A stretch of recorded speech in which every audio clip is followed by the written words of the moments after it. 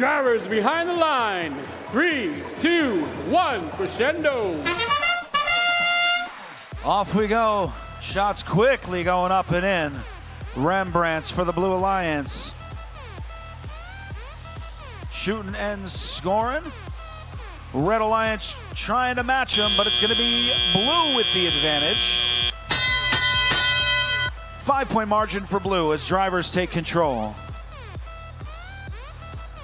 Feeding strategy set up for the Red Alliance already as 82 14 going up and over that stage, clearing out the center of the field, making sure Red Alliance has most of those center line notes.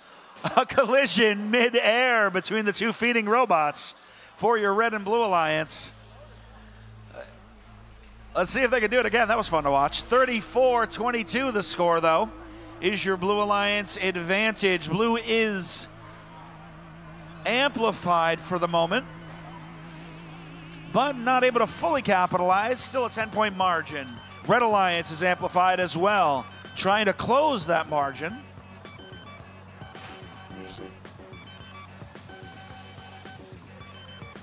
Forty-one thirty-six advantage, but Blue is going to try to stretch that. They have amplified.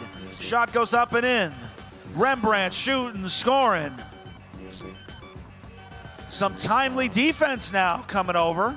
Red Alliance trying to get in the way. They block a shot. 81 88 Grand Force with that big arm up in the air. Trying to get in the way of those Blue Alliance machines. Plenty of feeding happening for Blue. Barker Graybacks with another note up and over. Trying to make sure Red Rembrandts has all the ammo they need. And now their partners slide in aluminum narwhals. Blue and a sideways robot at the center of the field. Well, to make sure we be very careful about that one.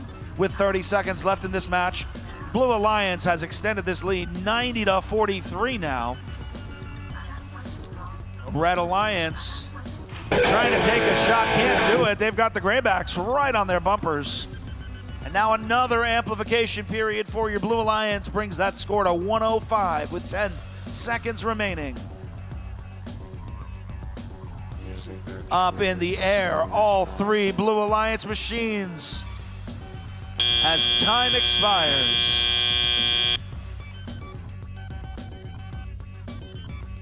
One sixteen to one fifty. Your score for Blue cooperation achieved for the two alliances. Blue Alliance coming away with four ranking points.